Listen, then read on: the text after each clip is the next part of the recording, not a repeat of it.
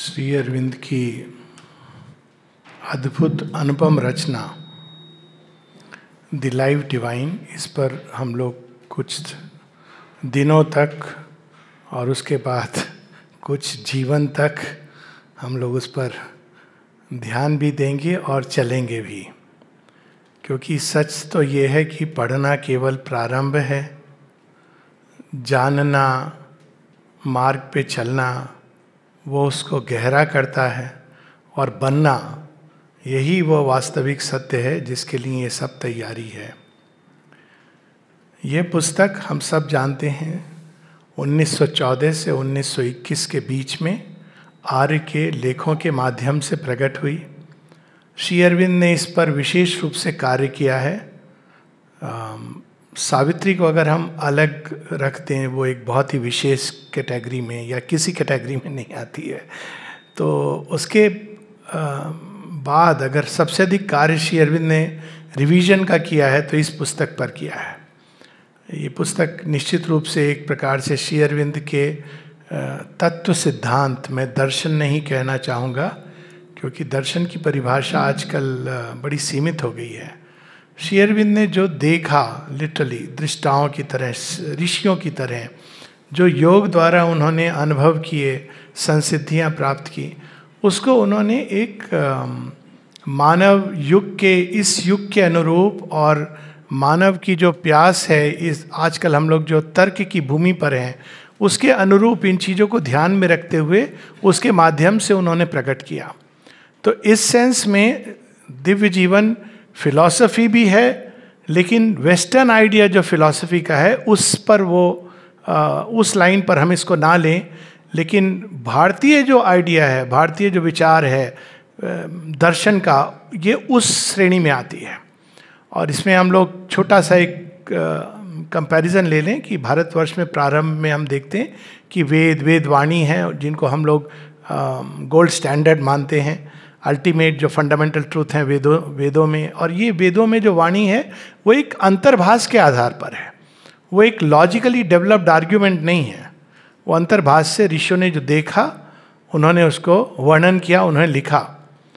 लेकिन जब उपनिषदों की एज में हम आते हैं, तब हम देखते हैं कि धीरे धीरे जैसे जैसे मन विकसित होता है, वो उसी को आधार बनाकर, ये डिफरेंस है। यानी ये रीज़न डेवलप करके लॉजिकली एक कंक्लूजन पे नहीं पहुँच रहा है। हालाँकि वो भी वहाँ पहुँचेगा। लेकिन वह उस चीज़ को आधार बनाकर उसको प्रस्तुत कर रहा है तर्क के माध्यम से। इन दोनों में एक मौलिक अंतर है। एक व्यक्ति कुछ अनुभव करता है और उसको तर्क के माध्यम से प्रस्तुत करता है। और एक है तर्क के माध्यम से हम अनुभव तक पहुँचना चाहते हैं। तो तर्क के माध्यम से हम उस अनुभव तक नहीं पहुँच सकेंगे। तर्क के माध्यम से मानव यात्रा का जो अंतिम शब्द है, वो है अज्ञेयवाद। शुद्ध तर्क के माध्यम से व्यक्ति उस भूमि पर चला जाता है, जहाँ वो कहता है, मैं नहीं जानता। तो वो अज्ञेयवाद की भूमि है। लेकिन जानने का जो माध्यम है, वो योग है। और योग के द्वारा जो व्यक्ति जानता है, उसको तर्क के माध्यम से प्रस्तुत करता है। वो हम देखते हैं वेदांतिक स्कूल्स में, जो बाद में आए।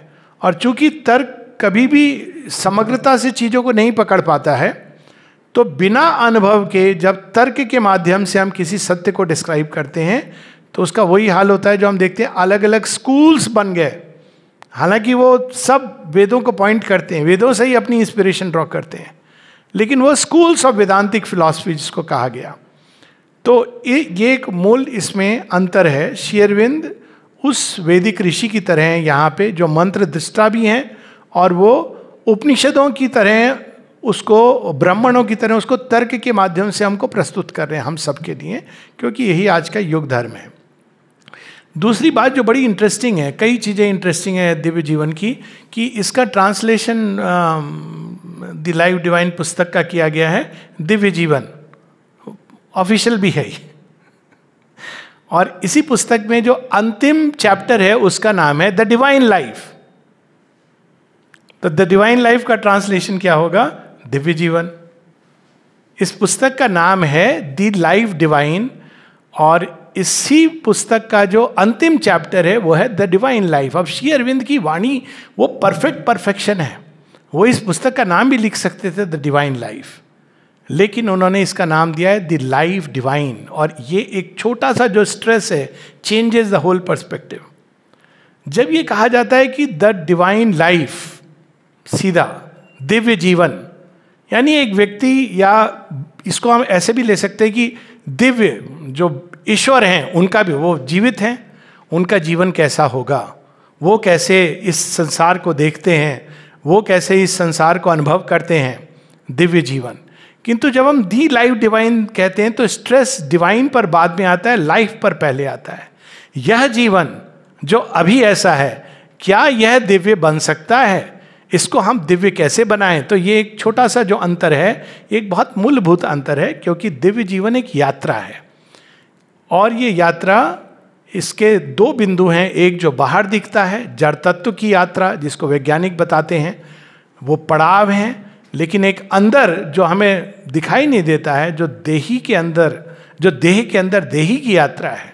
वो मूल यात्रा है। तो जड़ तत्व, प्राण तत्व इत्यादि जो इवोल्यूशन के जो ग्रेड्स हैं, ये पड़ाव हैं, ये स्टेशन है। विज्ञान बताती है कि ये स्टेशन है, वो स्टेशन है। ऐसे ऐसे इवोल्यूशन हुआ, पहले ये रूप आया, नाम रूप, फिर ये नाम रूप आया। लेकिन इसके अंदर यात्रा कौन कर रहा है?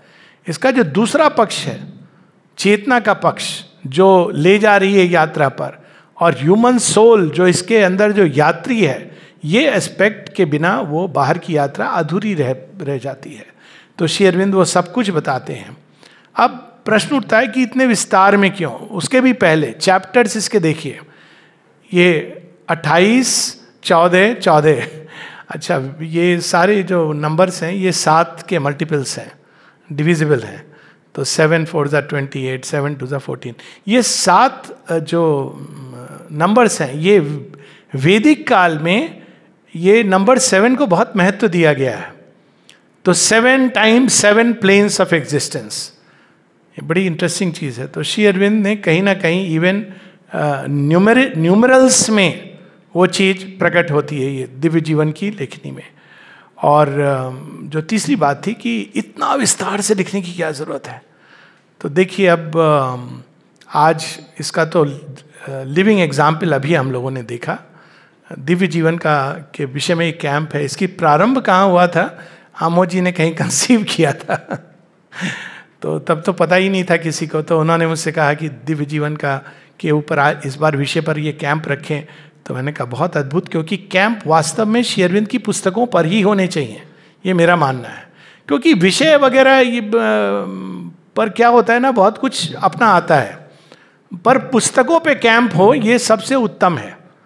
और ये नेचुरल भी है, सावित्री पर हो चुका है ईश उपनिषद पे और भी कुछ पुस्तकों पे हुआ होगा, मुझे नहीं मालूम। तो दिव्य जीवन is the most logical thing तो वहाँ से ये कम कंसेप्शन शुरू हुआ, लेकिन ऐसा नहीं हुआ कि जब उन्होंने कहा कि दिव्य जीवन पे कैंप रख लें तो बस अगले दिन कैंप शुरू हो गया। उसके बाद बहुत कुछ घटित हुआ, जिसमें, जिसका बाहरी रूप से देखें तो शायद कोई संबंध नहीं था इस कैंप से। अभी भी हम लोगों ने इसी बात का अनुभव किया। जब ये सब हो रहा था सारा सेटिंग्स तो बड़ी इंटरेस्टिंग मुझे दिव्य जीवन के पहले ही चैप्टर की लाइन याद आ रही थी। पहले ही चैप्टर में लाइन आती है और मैं आपको ये थोड़ा सा अनुभव शेयर कर दूँ। विल कम टू दैट कि समय हो गया था कैमरा सेटिंग नहीं हो रही थी फ़ोन किया जा रहा था और कहीं पर आ, कुछ खनकने की भी आवाज़ आ रही थी शायद ग्लास की आवाज़ आ रही थी। है ना? कुछ कुछ आवाज़ें आ रही थी कहीं कुछ बा, बातें भी हो रही थी। ये देखने से अगर कोई सुपरफिशियली देखे तो वो लगता है कि डिस्कॉर्डेंट आपस में इनका क्या संबंध है? लेकिन गहरी दृष्टि से देखें तो वो सब हारमोनी का हिस्सा है। वह सब कुछ जो हो रहा था बैकग्राउंड में वो इसलिए हो रहा था कि जब कैंप हो हम लोग शेयरविंद की पुस्तक पे आए तो सब कुछ सुचारू रूप से चले। तो जीवन में एक लंबी तैयारी होती है, जिसमें दिखता है जैसे डिस्कॉर्डेंट नोट्स कोई कहे कि भाई ग्लास में पानी भरने का इससे क्या संबंध है कि हम दिव्य जीवन के कैंप के बारे में दिव्य जीवन को पढ़ेंगे, लेकिन संबंध है। तो इसलिए शेरविंद विस्तार में हर चीज़ का, और यहाँ से आने के पहले भी घर में अच्छा सा नाश्ता, ये सारी चीज़ें एक ही जीवन की कड़ी का हिस्सा है। हम लोग इसको विभक्त करके देखते हैं, क्योंकि माइंड विभक्त करके चीज़ों को देखता है। अच्छा वो ब्रेकफास्ट था, ब्रेकफास्ट का इससे कोई संबंध नहीं है। तो संबंध है सुनने वाले के लिए भी और बोलने वाले के लिए भी, क्योंकि देह वो आधार है, जिसके द्वारा चीज़ें अभिव्यक्त होनी है। तो हर चीज़ का, हर चीज़ के साथ सृष्टि में ऐसे जुड़ी हुई है कि आप इसको अलग करके नहीं देख सकते हैं। और ये जो हमारी मानसिकता में एक अलग करके चीज़ों को देखने की जो चेष्टा हुई, अपने आप में आवश्यक थी, लेकिन उसकी सीमाएँ थी। फिर हम उसको जब जोड़ने का प्रयास करते हैं तो हमको समझ नहीं आता। और ये सब कुछ हम देखते हैं कि प्रारंभ में ईशी अरविंद बताते हैं। तो अब अगर हम इस पुस्तक को देखें, मैं टेम्पटेशन रजिस्ट कर रहा हूँ, एक ही बात के बहाव में बह जाने की। तो इस पुस्तक में अगर हम देखें तो इसमें दो बुक्स हैं। पहली जो बुक है omnipresent reality and the universe क्योंकि ये सबसे बड़ी एक समस्या होती है कि एक और हम कहते हैं कि एक ऐसा सत्य है, एकमेव द्वितीय, जो सर्वत्र है ओमनी प्रेजेंट रियलिटी लेकिन जब हम इस ब्रह्मांड को देखते हैं तो इस ब्रह्मांड को देख के आश्चर्य होता है, वो कहाँ है? जो सर्वत्र है वही हम नहीं जानते, बाकी सब जानते हैं और देखते हैं। तो ये जो एक विरोधाभास है, एक प्रकार से हम देखें तो दिव्य जीवन ईश उपनिषद के स्टाइल में है। ईश उपनिषद के शेरबिंद कहते हैं कि दिव्य जीवन का वो आधार है ईश उपनिषद। ईश उपनिषद में क्या हम देखते हैं? रिकनसाइलिंग द ऑपोजिट्स ईशावास्यमिदम सर्वम यत किंच जगत्याम जगत मूवमेंट और स्टेबिलिटी कर्म और मोक्ष की अवस्था। ये सारे जो अपोजिट्स हैं, जन्म, संभूति, असंभूति बर्थ एंड नॉन बर्थ ये सब कुछ रिकनसाइल किया गया है।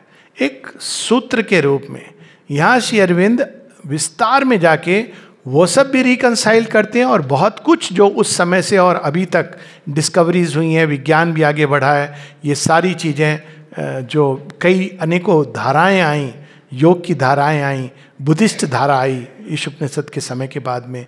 तो ये सब कुछ श्री अरविंद लेकर के उनको रिकनसाइल करते हैं।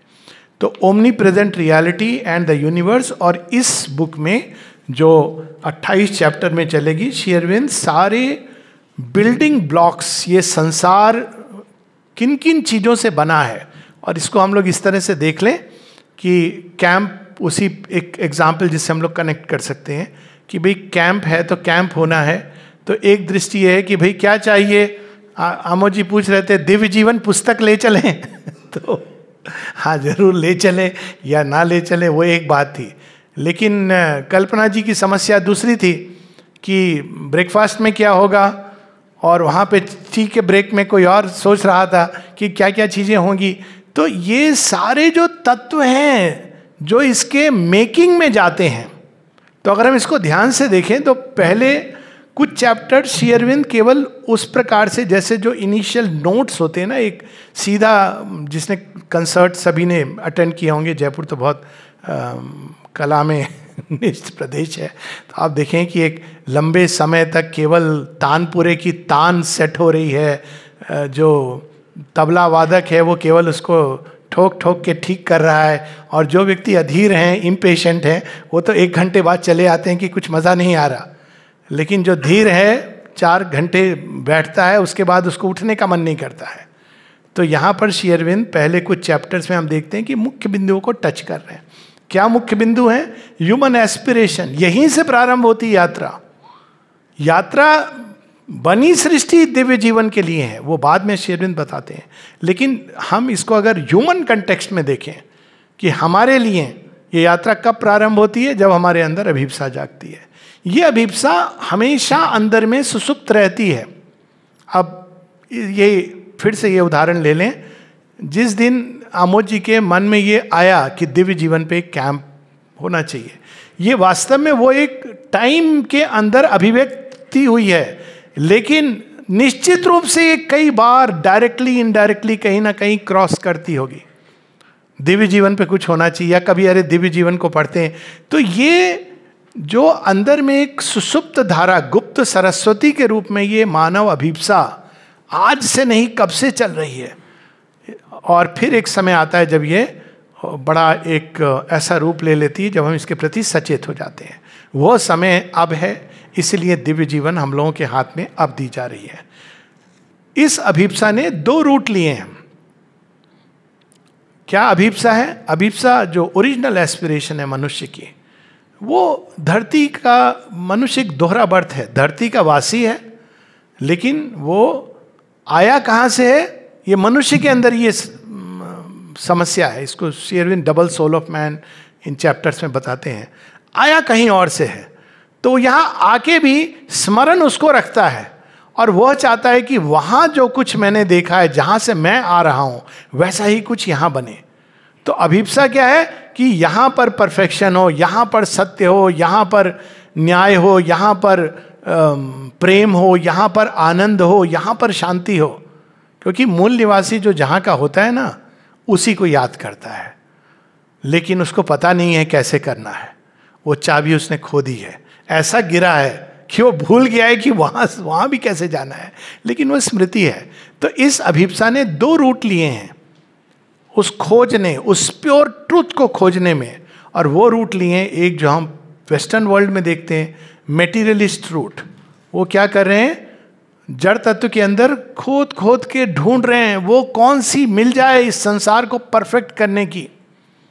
और करते करते अभी वो कहाँ पहुँच गए? आर्टिफिशियल इंटेलिजेंस और भारतवर्ष ने क्या किया? भारतवर्ष ने अंदर जाता चला गया और वहाँ पर उसने क्या ढूंढा? डिवाइन इंटेलिजेंस लेकिन इनको रिकनसाइल करने की चाबी हमें नहीं मिली। जिसने जड़ तत्व को ढूंढा, उसके जब एक्सट्रीम में चला गया तो उसने क्या कहा? भगवान नहीं है। वो तो विकट अंधकार है जड़ तत्व के अंदर। कुछ पार्टिकल्स हैं, जिनको ना हम देख सकते हैं ना जान सकते हैं ना सुन सकते, लेकिन हैं, ये आभास है उनके फिनोमेना से पता चलता है कि कुछ है वहाँ पे। और जब हम लोग उसी प्रकार से जब एसेटिक एक परे जाने का मार्ग लिया तो परे जाके भी अंत में उसने एक दूसरा एफर्मेशन किया कि एक है, लेकिन ये संसार क्या है? ये तो एकदम इल्यूशन है। ये तो सत्य है ही नहीं, सत्य तो वो है। तो इन इन चैप्टर्स पे थोड़ा थोड़ा हम लोग बाद में टच करेंगे, लेकिन शुरू में, और फिर शेयरविंद रियलिटी ओमनी प्रेजेंट की वो, उनका जो कहना है, वही जो एकमेव द्वितीयम, सारे संसार में एक ही सत्य है। जड़ तत्व में भी, मनुष्य में भी, देवलोक में गंधर्व लोक में, विश्व चेतना में, विश्व के परे दूसरा कुछ नहीं है। अब इसके बाद शेरविंद धीरे धीरे उसी से हमारी नियति और मनुष्य का ब्रह्मांड के साथ संबंध इस पर आते हैं। फिर अगले कुछ चैप्टर बड़े इंटरेस्टिंग हैं। हम जैसे संसार को अनुभव करते हैं ईगो के माध्यम से।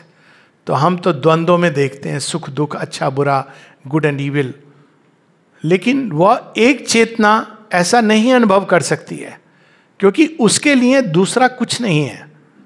अब सोचिए, इसीलिए हमारे कई जो कंसेप्शंस हैं गॉड के, श्री अरविंद इसमें चैलेंज करेंगे। भगवान दंड दे रहा है। है ना? ये कंसेप्शन है। डुअलिटी में ये जन्म लेते हैं।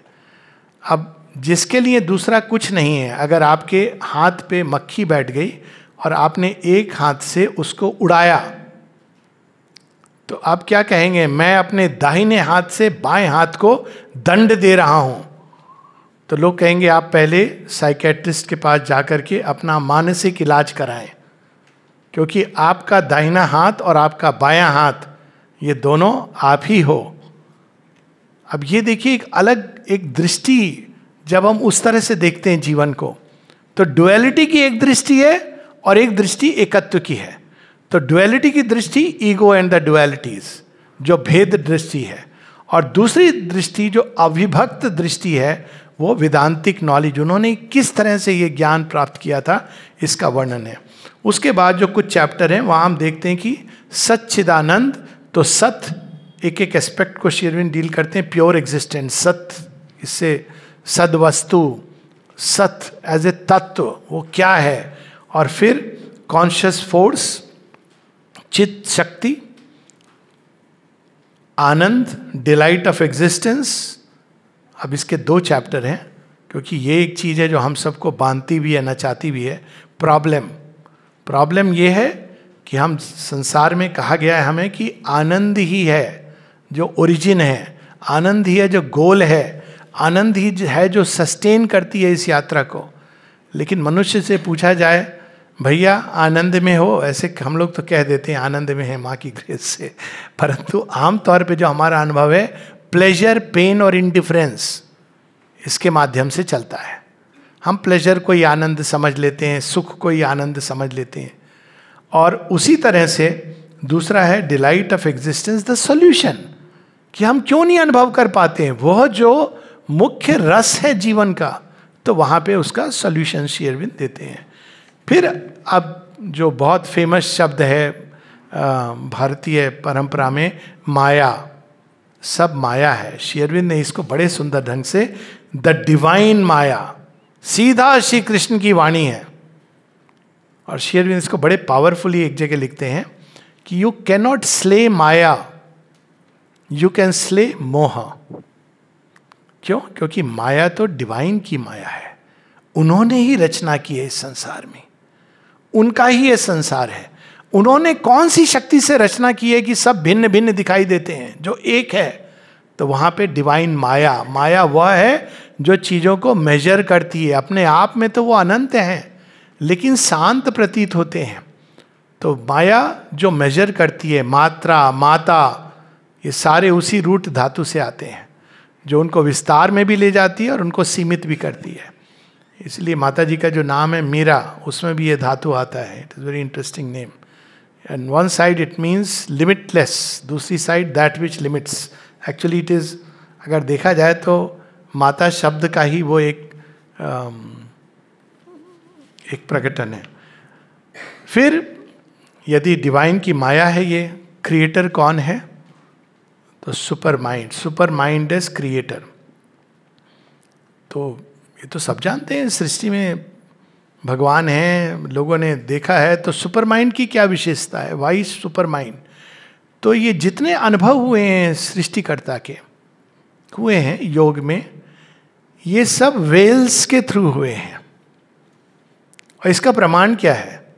प्रमाण यह है कि इसी कारण हम कभी भी सृष्टि को सृष्टिकर्ता के साथ पूरी तरह जोड़ नहीं पाए।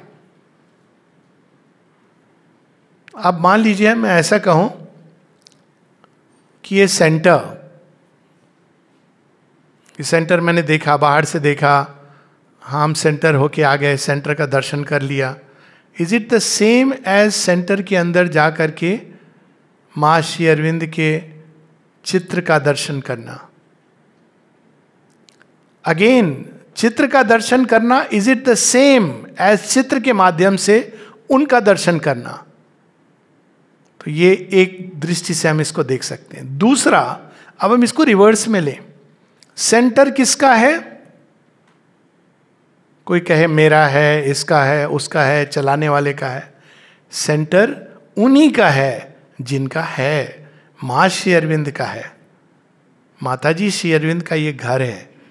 तो यदि ये माँ श्री अरविंद का घर है तो यहाँ जो कुछ भी होता है, जो कुछ भी हो रहा है, कहीं ना कहीं उनकी उपस्थिति है, जो इस चीज़ को या तो सैंक्शन दे रही है, या इस चीज़ को तत्कालीन सैंक्शन दे के दूर कहीं किसी ऐसी घटना की ओर ले जा रही है, जिसका अभी हमें अंदाज़ा भी नहीं है। क्योंकि ये उनकी कृति है और वो इसको ले जा रहे हैं। तो यहाँ पर super mind as creator veils के थ्रू हम देखते हैं तो वो ये देखना हुआ, सेंटर को देख के ये मान लेना कि हमने माँ श्री अरविंद के दर्शन कर दिए। ये कुछ इस तरह की चीज़ है कि अमरनाथ तो चढ़ना बहुत मुश्किल है, आजकल आता है डिजिटल पे, आपको तिरुपति जी के भी दर्शन हो जाएँगे, अमरनाथ की भी यात्रा हो जाएगी, सब हो जाएगा। आपको सेटिस्फैक्शन दिल को बहलाने को बहुत अच्छा हमने रोज दर्शन करते हैं हम सुबह उठ करके तिरुपति बालाजी के। अरे, वहाँ जाके भी दर्शन नहीं करते हो, सामने खड़े होके, ये क्या दर्शन है? तो वेल्स के थ्रू देखने को हम लोगों ने यह समझा कि हमने भगवान के दर्शन कर लिए। शेरविंद कहते हैं, इट्स ए हरिड ग्लैंस। जैसे खिड़की से किसी ने देख लिया, अरे, हमने देखा, बाके बिहारी को थोड़ा सा पर्दा हटाता दूर से हमने देख लिया। तो ये जो ग्लिम्स है, वो वेल्स के थ्रू है, मन के वेल्स के थ्रू और जब सुपर माइंड की बात होती थी it is the creator unveiled सारे घूंघट अगर हट जाएँ तो फिर क्रिएटर अपने परम तेज में कैसा दिखाई देगा? वो सुपर माइंड है. तो यहाँ पर सुपर माइंड फिर वो सुपर माइंड के ऊपर कुछ चैप्टर्स हैं, हम will touch upon all of them फिर आती है बात कि सुपर माइंड में डिवाइन सोल यानी वहाँ पर अनुभव कैसा है? क्योंकि वहीं पर हम सबका ओरिजिनल जन्म स्थान वही है। तो जब हम गिरे नहीं थे तो कैसा अनुभव था? कैसा जीवन था हमारा? क्या हम लड़ते थे, झगड़ते थे? कैसे हम, अभी तो हम एक दूसरे के साथ, हारमोनी तो बहुत दूर की बात है। एक, ये भी कठिन है कि हम स्वीकार कर लें दूसरे व्यक्ति को। लेकिन वहाँ पर, चूँकि विभिन्नताएँ हैं, लेकिन विभक्तता नहीं है। ये अंतर है। सुपर माइंड के अंदर विभिन्नताएँ हैं। लेकिन लड़ाई क्यों नहीं है? क्योंकि विभक्ति नहीं है। हर व्यक्ति, हर सुपर माइंड के अंदर जो सोल तत्व के रूप में जो भिन्न भिन्न वो हैं अंश हैं भगवान की, वो सब जानते हैं कि ये भी भगवान का अंश है। तो ऐसे नहीं कि जब अभी हम मिलते हैं तो तुम कौन हो? हम हैं जो हम लेकिन वहाँ पे सब भगवान के अंश हैं। और प्रत्येक अंश भगवान के एक एस्पेक्ट को प्रतिनिधित्व करता है, लेकिन वो सचेतन है, बाकी सब चीज़ों का जो उसके पीछे में है। इसलिए कोई लड़ाई झगड़ा नहीं तो डिवाइन हमारी फॉल के पहले क्या अवस्था थी? और उसके बाद श्री अरविंद फिर आ जाते हैं जीवन पर, और जीवन के अंदर जो मृत्यु जुड़ी है, जीवन की समस्या और फिर जीवन का एसेंट ये सब कुछ ये पहली बुक में हम लोगों को बताते हैं। काफ़ी विस्तार में। अब यहाँ पे जब श्री अरविंद बता दें कि जीवन की समस्या क्या है माता जी से एक बार माता जी एक जगह अपने लेख में लिखती हैं कि असल समस्या हमारी क्या है। तो हम लोगों ने सुनी हुई है, सुनी सुनाई बातें, माया है, ये है, कर्म की समस्या है, ऐसा है, वैसा है, बहुत कुछ सुना हुआ है। माता जी कहती हैं the real problem is the imperfection of matter आप इस देह में जन्म लेंगे तो बस, जैसे एक व्यक्ति राजा की परिधान को पहनता है तो उसके साथ कई चीज़ें जुड़ी हुई होती हैं जो आ जाती हैं। वो रो नहीं सकता, वो सड़क पे खड़े होकर गोलगप्पे नहीं खा सकता, उसकी कई सीमाएँ उसके साथ आ जाती हैं। कई उसके साथ उसको एडवांटेजेस भी होते हैं। तो जैसे ही जड़ तत्व में प्रवेश करते हैं, जड़ तत्व की जो सीमा है, वो हमको बाँध लेती है। और फिर, लेकिन क्या हमको इसको छोड़ देना है? नहीं। इसका, इसकी नियति क्या है? हमारी नियति जड़ तत्व के साथ बंधी है। और इसको छोड़ के भाग जाना, ये तो ठीक है। वैसे ही है कि जेल से कोई एक व्यक्ति छूट गया, मान लीजिए एक जेल में है, कई लोग बंद हैं। और कहानी भी इस तरह की, भूल रहा हूँ मैं किन की थी। और किसी ने कहा कि आपको छोड़ दिया जाएगा। तो उन्होंने कहा, मुझे तो छोड़ दिया जाएगा, लेकिन बाकी सब? इन्होंने भी तो कोई क्राइम नहीं किया है। नहीं, आपके ऊपर विशेष कृपा है। हमारे राजा आपको जानते हैं तो आपको छोड़ लेंगे। नहीं, मैं तो तभी जाऊँगा जब सब लोग को छोड़ा जाएगा। तो ये एक डिफरेंस होता है कि प्रिजन को चेंज करना इनटू ए आश्रम ऑफ़ गॉड ना कि प्रिजन से भाग करके किसी और क्षेत्र में चले जाना। ये पार्ट वन में ये बेसिक चीज़ें आ जाती हैं। अब पार्ट टू में हम देखते हैं रिकनसाइल करते हैं शेयरविंद क्योंकि पार्ट वन में वो हम लोग को बताते हैं कि दो लेवल पर हम अनुभव करते हैं जीवन को। एक जब हम विभक्त चेतना में रहते हैं, अज्ञान में होते हैं, अहंकार में होते हैं, और एक जब हम एकत्व की चेतना में रहते हैं, अविभक्त जीवन अनडिवाइडेड कॉन्शियसनेस तो ये दोनों अलग अनुभव हैं। और इसका एक एग्ज़ाम्पल लाइफ डिवाइन में ही आता है पर एक स्पर्श कर, स्पष्ट कर लें कि अभी हम लोग देखते हैं अलग अलग देह अलग अलग हैं। तो देह से अलग अलग व्यक्ति है। लेकिन एक दूसरी दृष्टि एकत्व की है कि सारा मैटर का एक्सटेंशन है इसमें हर एक फॉर्म एक वेव की तरह उठता है और फिर उसमें विलीन हो जाता है। विज्ञान तो इस दृष्टि को ज़्यादा सही बताता है। हमको लगता है अलग अलग हैं लेकिन प्रकृति ने जड़ तत्व से संयोजित करके एक बना दिया, फिर उसको वापस विलीन कर लिया। वो तो यही रहा है। तो ये अविभक्त दृष्टि, ये दोनों दृष्टियों को कैसे रिकनसाइल किया जाए? एक दृष्टि यह है कि ये ठोस है, दूसरी दृष्टि है कि कुछ भी ठोस नहीं है। ये सब केवल एटम्स हैं। एटम तो ठोस नहीं होता है इलेक्ट्रिकल चार्ज है। तो रिकनसाइल कैसे किया जाए? तो ये सारे जो परस्पर विरोधात्मक तत्व, दर्शन, जीवन को देखने की दृष्टि, उसमें मुख्य जो चीज़ है नॉलेज एंड इग्नोरेंस एकत्व की दृष्टि को ज्ञान की दृष्टि कहा गया, विभक्त दृष्टि को अज्ञान की दृष्टि, पृथकत्व दृष्टि को अज्ञान की दृष्टि। लेकिन कुछ तो दोनों में कोई कारण होगा ना कि ये दोनों हैं। जब एक ने रचना की है तो उन्होंने ये दो क्यों बनाए? तो यहाँ इसको अलग अलग लेवल पे रिकनसाइल करते हैं। बहुत सारे इसमें रिकनसिलेशन है। इनडिटर्मिनेट्स कॉस्मिक डिटर्मिनिज्म भगवान, क्या आप किसी तरह से उनको डिफाइन डिटरमाइन कर सकते? नहीं। अगर हम जड़ तत्व के भी एकदम अंदर चले जाएँ तो केओस है। तो फिर लेकिन चीज़ें किसी ना किसी एक रूप ले रही हैं डायरेक्शन ले रही हैं। ये कहाँ से आता है? डिटर्मिनेट कैसे होता है? जीन्स से ये मनुष्य बन जाएगा, वो घोड़ा बन जाएगा, ये वृक्ष बन जाएगा। वॉट डिटरमाइंस इट तो इस प्रश्न को श्री अरविंद लेते हैं और रिकनसाइल करते हैं। इटर्नल एंड द इंडिविजुअल क्या व्यक्ति का कोई औचित्य है? तो बुद्धिस्ट टीचिंग तो कहती है इवन जो शंकराचार्य का अद्वैत अगर उसके मूल में चले जाए तो there is nothing like an individual soul अब समस्या हो जाती है ये कम से कम मेरी तो यंग एज की समस्या यही थी कि अगर इंडिविजुअल सोल नहीं है तो योग कौन कर रहा है, मुक्त कौन हो रहा है, और बंधा कौन है? ये आप तो आप तो कुछ था ही नहीं। चले गए। तो who is free who is bound और उसके अंत में ये लिखते हो, जो शेरविंद कहते हैं none is bound none is free none seeking to be free अगर उसको हम लॉजिकली ले जाएँ तो यहाँ पर शेयरविंद उसको दूसरा टर्न देते हैं कि he himself he is free forever even in bondage he is free Savitri की one of the most perfect line जो मुझे लगती हैं, कई सारी हैं, उसमें एक ये है कि this is freedom to be free even in bounds सच्ची फ्रीडम तो यही है जो फ्रीडम इस पर निर्भर करती है कि हम इस संसार में नहीं आएँगे। वो तो फ्रीडम कंडीशन फ्रीडम हो गई। पर फ्रीडम में कंडीशंस कैसी? है विरोधात्मक चीज़ें हैं। तो यहाँ इटर्नल और इंडिविजुअल क्या दोनों सत्य हैं या एक सत्य है और दूसरा सत्य नहीं है? तो यहाँ पर उसको रिकनसाइल करते हैं। डिवाइन एंड द अनडिवाइन ये तो सबसे कठिन काम होता है इसको रिकनसाइल करना। कि हम कहते हैं सब भगवान है। संसार में बहुत कुछ है जो हमारे हमारे इंटूटिव एक्सपीरियंस में आता है कि ये अदिव्य है। और इसीलिए इस चीज़ को लोग समझ नहीं पाते हैं तो अंत में एक बास्केट है वेस्ट पेपर बास्केट हाँ। उसको आप खंगाल के चीज़ों को खोज नहीं पाएँगे। जब कोई कहते हैं, वो चीज़ क्या? अरे, उसने डाल दिया होगा रद्दी की टुकड़ी में। तो वैसे हम कहते हैं, कर्म सिद्धांत। क्यों पीड़ा हो रही है? अरे, किया होगा तुमने कोई पिछले जन्म में पाँच जन्मों पहले?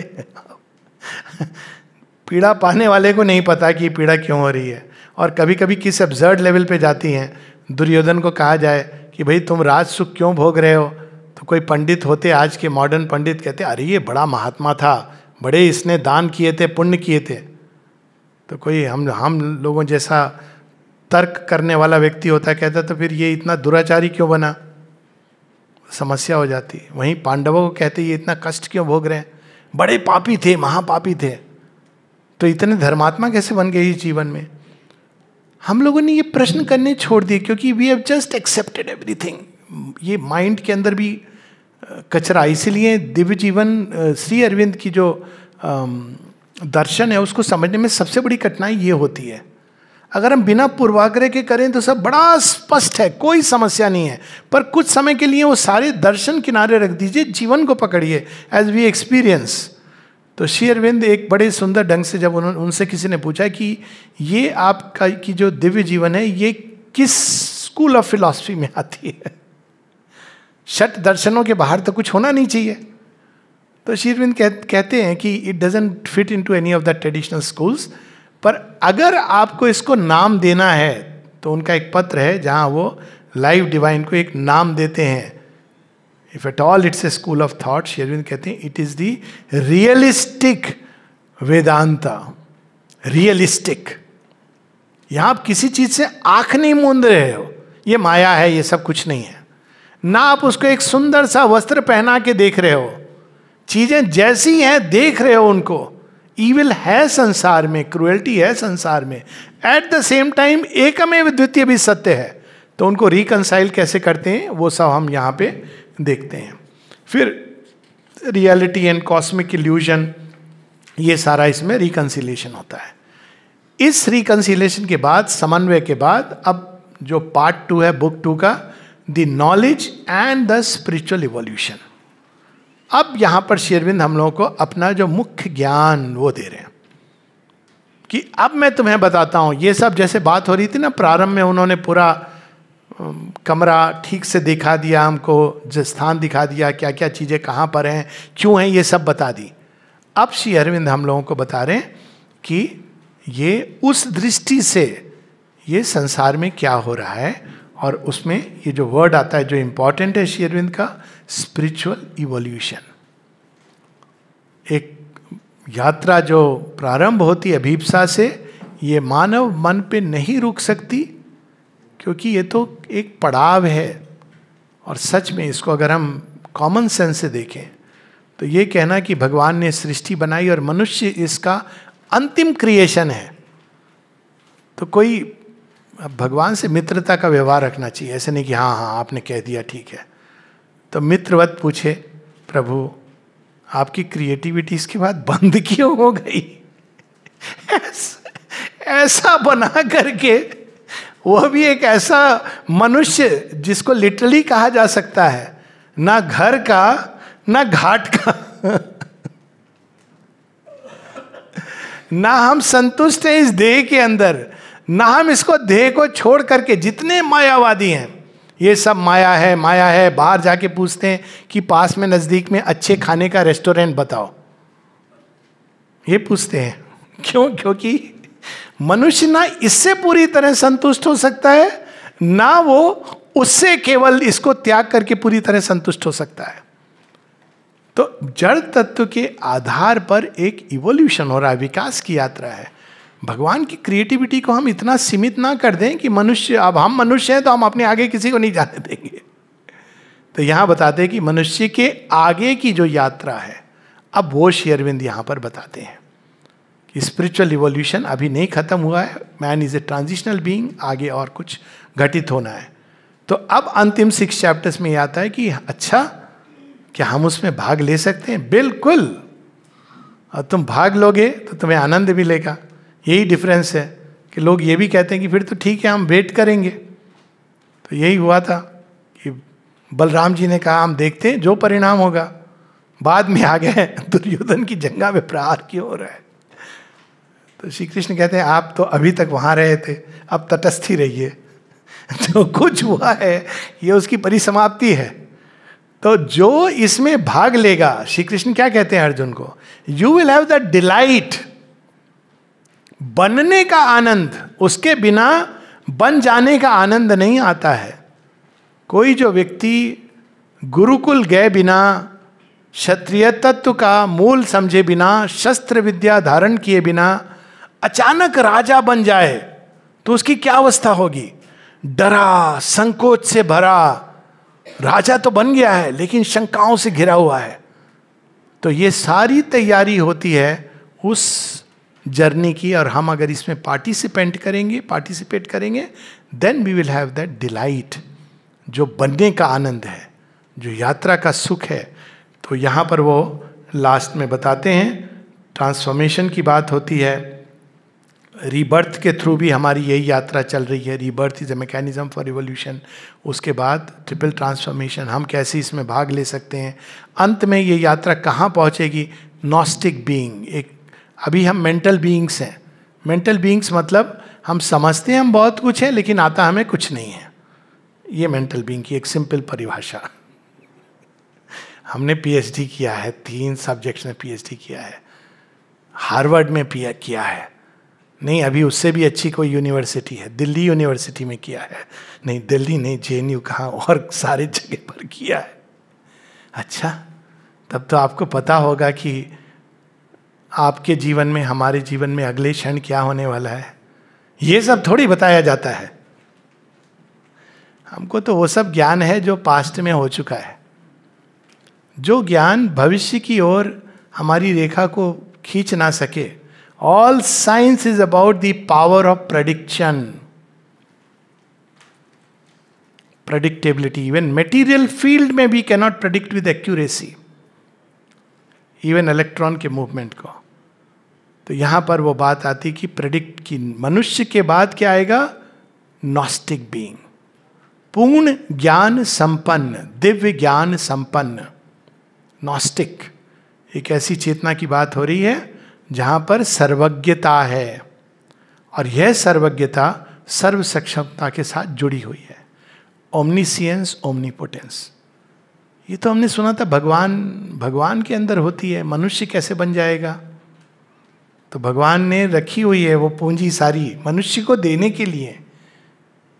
ये धरोहर के रूप में वो चाहते हैं कि हमारे अंदर भी प्रैक्टिकल ओमनीसियंस प्रैक्टिकल ओमनीपोटेंस वही जो सच्चिदानंद है। सतचित आनंद हमारे अंदर प्रकट हो। लेकिन उसके लिए हमको तैयार कर रहे हैं नॉस्टिक बीइंग और जब नॉस्टिक बीइंग्स हो जाएँगे, कुछ तो होने चाहिए, तब बनेगी डिवाइन लाइफ डिवाइन लाइफ एक सामूहिक जीवन।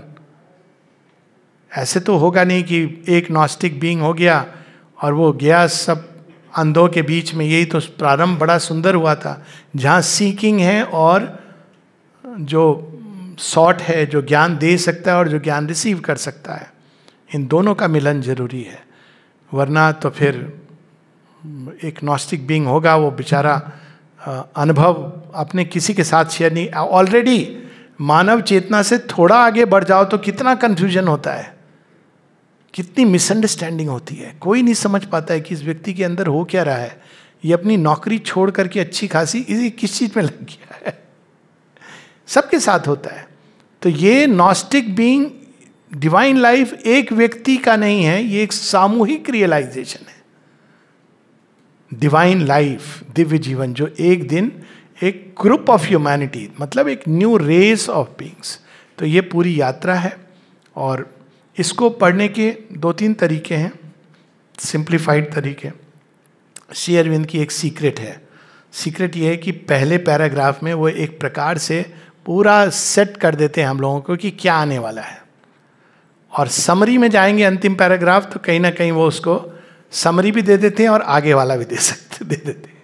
तो अगर हम पूरा ना भी पढ़ सकें तो first two paragraphs last two paragraphs this is a simple way to read it दूसरा, इसके जो मुख्य, अंत में अगर हमको इसकी संसार क्यों है, क्या है, इसके बारे में हम हम मान गए कि भाई आपने कहा है that the end of the story for us तो हम क्या करें? तो वहाँ पर लास्ट सिक्स चैप्टर्स आ जाते हैं। माता जी ने कहा था they are so important chapters तो लास्ट सिक्स चैप्टर्स अगर हम दिव्य जीवन के पढ़ें तो उसमें एक प्रकार से जो टेक होम पॉइंट्स है, वो सारे आ जाएँगे।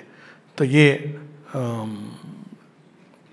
यहाँ से लगभग rebirth and the other worlds karma the soul man and the evolution evolution of the spiritual man triple transformation the ascent toward super mind the gnostic being and the divine life तीसरा, समस्या क्या होती है जब हम केवल दिव्य जीवन पढ़ते हैं? अंग्रेज़ी कठिन है दिव्य जीवन की विदाउट ए डाउट तो जब हम केवल दिव्य जीवन पढ़ते हैं कि हम शेरविंद की एक मुख्य पुस्तक पढ़ेंगे तो कई बार, क्योंकि वो सेंटेंसेस का जो गठन है, कई बार लोग पूछते हैं कि इतने लंबे लंबे वाक्य क्यों यूज़ किए हैं? क्योंकि शेरविंद पूर्ण सत्य को बताना चाह रहे हैं। एक एग्ज़ाम्पल हम लोग ले लें। हम लोगों को किसी के बारे में बताना होता है तो हम क्या करते हैं? अरे, बड़ा अच्छा आदमी है। फिर आप पूछेंगे, बस इतना?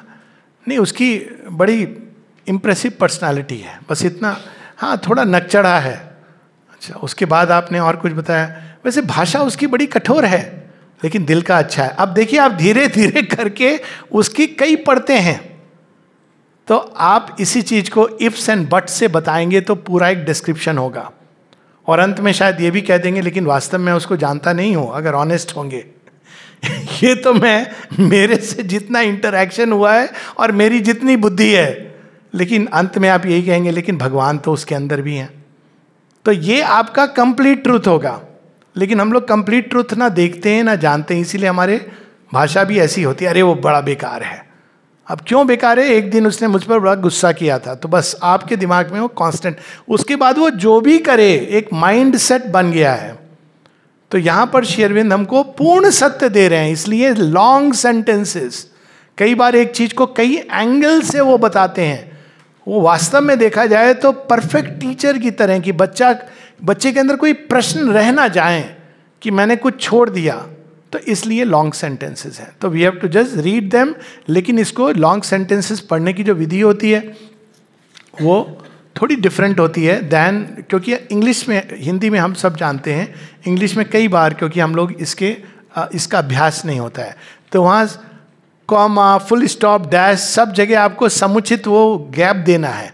तब वो चीज़ अपने आप स्पष्ट हो जाती है। पहले वाक्य को देख लें, वहीं से प्रारंभ करें। Human aspiration the human aspiration human aspiration ये एक एक वर्ड जो आर्टिकल यूज़ किया जा रहा है, दी. दी ह्यूमन मतलब कौन सी वो एस्पिरेशन है जो रहती ही रहती है मनुष्य के अंदर किसी ना किसी रूप में? अब देखिए पहला वाक्य. अच्छा ये भी है कि इसमें लाइव डिवाइन के प्रत्येक चैप्टर के पहले जो अपने सनातन धर्म की वेद, उपनिषद, गीता, इनमें से कोई ना कोई पैसेजेस दिए गए हैं. कहीं कहीं एक कहीं कहीं दो. तो लेकिन ये हमें पता होना चाहिए, ये पैसेजेस श्री अरविंद ने नहीं सिलेक्ट किए थे। ये पैसेजेस पुरानी जी ने सिलेक्ट किए थे। श्री अरविंद ने ओके किया था मतलब ये एक डिफरेंस है। यानी हम एग्जैक्टली exactly उस पैसेज को कनेक्ट ना कर दें कि यही वो चीज़ उसमें लिखी गई है। उससे कुछ मिलती जुलती या कहीं उसका कोई हिंट है तो वो ये इस तरह से वो सिलेक्शंस हैं। तो हम लोग सीधा श्री अरविंद की वाणी पर अब देखिए। पहले हम लोग स्ट्रेट पढ़ लें, बिना इफ़ कॉमर्स फुल स्टॉप के। The earliest preoccupation of man in his awakened thoughts, and as it seems, his inevitable and ultimate preoccupation. By this time, we are already lost. So let's go step by step. The earliest preoccupation of man in his awakened thoughts, and as it seems, अब देखिए difference कि मनुष्य आज से नहीं जब से awakened thoughts perfection देखी, ये नहीं कि जब से विचारवान हुआ प्रबुद्धवान हुआ। विचारवान तो केव मैन भी था, कहीं ना कहीं विचार आने शुरू हो गए थे, विचारों के स्पंदन।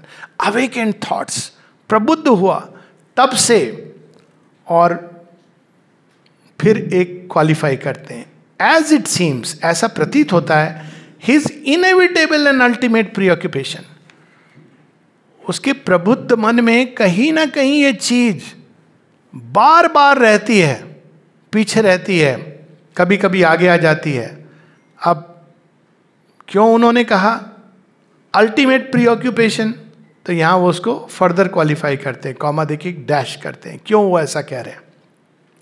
For it survive the longest periods of scepticism and return after every banishment दो ही चीज़ हैं जिनसे मनुष्य का ध्यान कभी नहीं हटा। एक जड़ तत्व और दूसरा दिव्य तत्व। वो ढूंढता ही रहा है वैदिक काल से अभी तक। और कितना भी उसको बैनिश कर दो हरिण कश्यप ने लास्ट ट्राई किया था औरों ने भी किया। और बैनिश करने के कई तरीके होते हैं। भगवान को ये एक ऐसा बन, रूप बना दो कि वो भगवान नहीं है एक अदिव्य सत्ता को भगवान का नाम दे करके बैठा देना। ये सबसे खतरनाक खेल होता है। इमिटेटिंग गॉड मतलब वो भगवान जो बुरी तरह आपको कोड़े मारता है, हाथ काट देता है, मार डालता है, क्योंकि आप उसमें विश्वास नहीं करते तो आपने क्या किया? अदिव्य सत्ता को दिव्य के थ्रोन पे बैठा दिया। तो इस तरह भी बैनिश करने की चेष्टा की गई है। ये वही फॉर्मूला है। हिरण्य कश्यप क्या कहता है? मैं भगवान हूँ।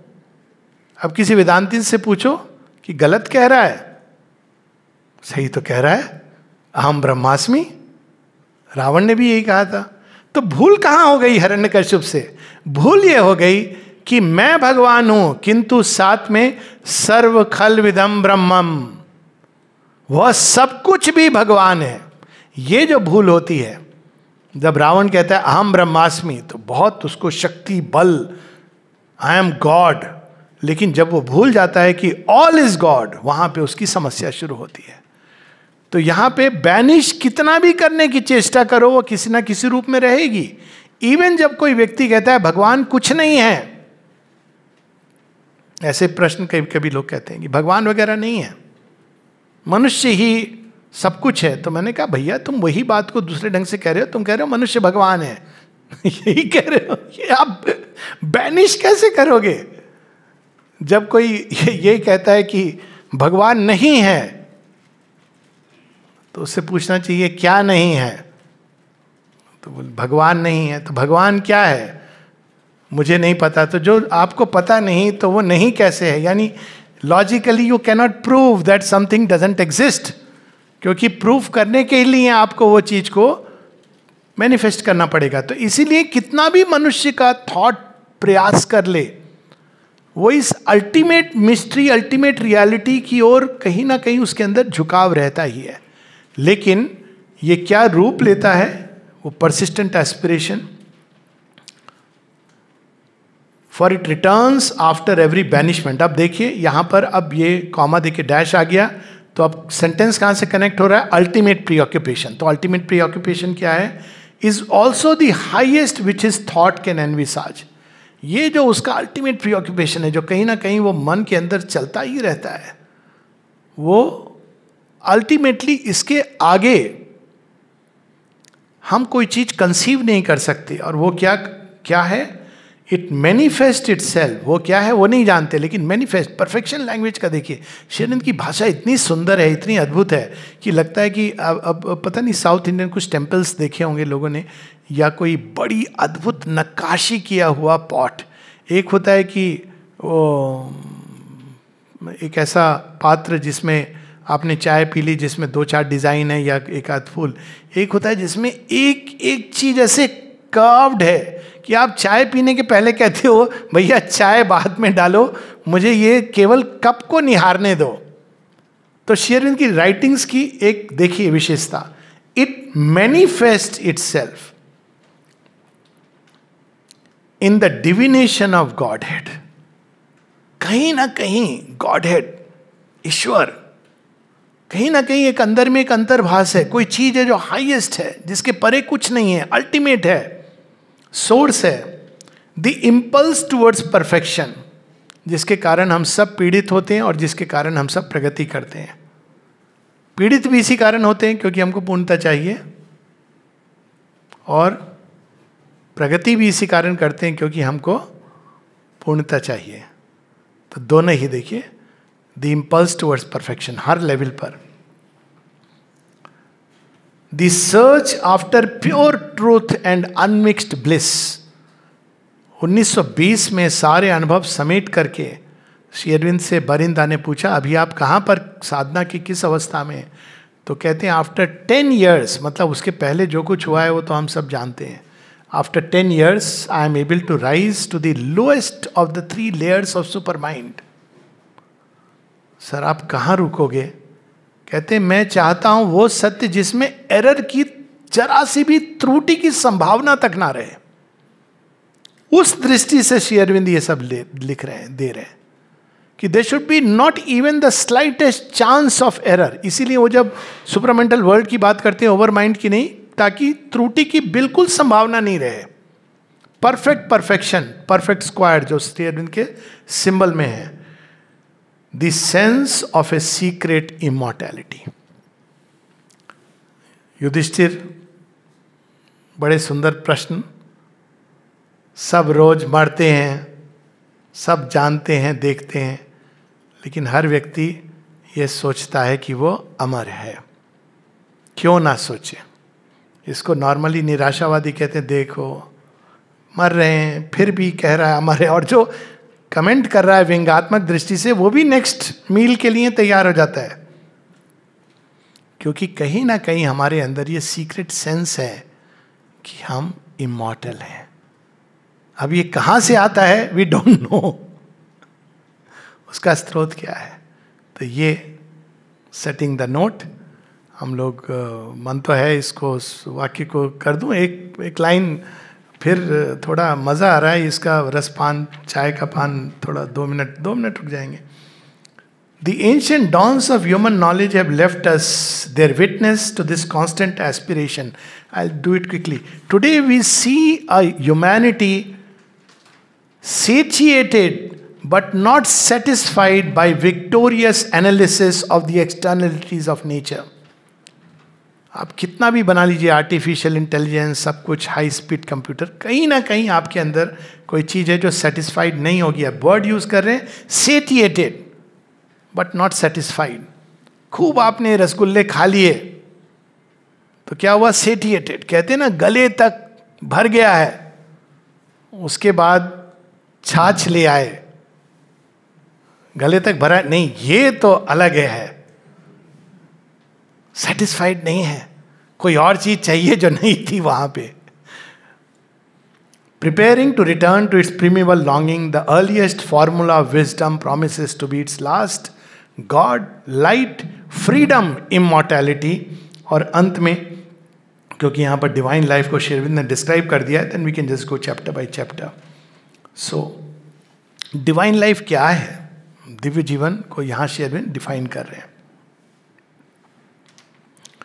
टू नो पेज फोर पर है नेक्स्ट पैसेज में ही है.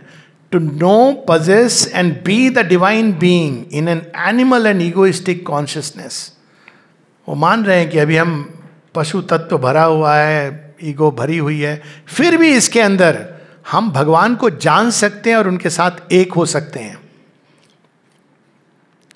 टू कन्वर्ट अवर ट्रिलिट और obscure physical mentality into the plenary supramental illumination इस अज्ञान के अंधकार में घिरे हुए इस मन को हम सूर्य आलोकित प्रकाशवान, हम वो लैंप बना सकते हैं। To build peace and a self existent bliss where there is only a stress of transitory satisfactions besieged by physical pain and emotional suffering अब वो बता रहे हैं कि यहाँ पे क्या है, वहाँ पे क्या है? इज़ टेलिंग अस यहाँ पे ट्रांजिएंट स्ट्रेस ऑफ़ थोड़ी देर, थोड़ी खुशी, थोड़ा गम है। ओके इन वन वर्ड वहाँ क्या है? वो उसमें क्या है? डिवाइन लाइफ में peace and self existent bliss किसी चीज़ की आवश्यकता नहीं है, शांति और आनंद के लिए। To establish an infinite freedom in a world which which itself as a group of mechanical necessities to discover and realise the immortal life in a body subjected to death and constant mutation. This is offered to us as the manifestation of God in matter and the goal of nature in the inner terrestrial evolution. तो अब हम लोग यहाँ रोकेंगे then we will just go brief summary प्रत्येक chapter की छोटी छोटी छोटी समरी जहाँ पे लगेगा कि थोड़ा और समय स्पेंड करना चाहिए वहाँ पे हम लोग थोड़ा समय स्पेंड करेंगे और एक आध पैसेज पढ़ेंगे। This will be the way नहीं तो लाइव डिवाइन के एक पैसेज में ही पूरा कैंप निकल सकता है। धन्यवाद।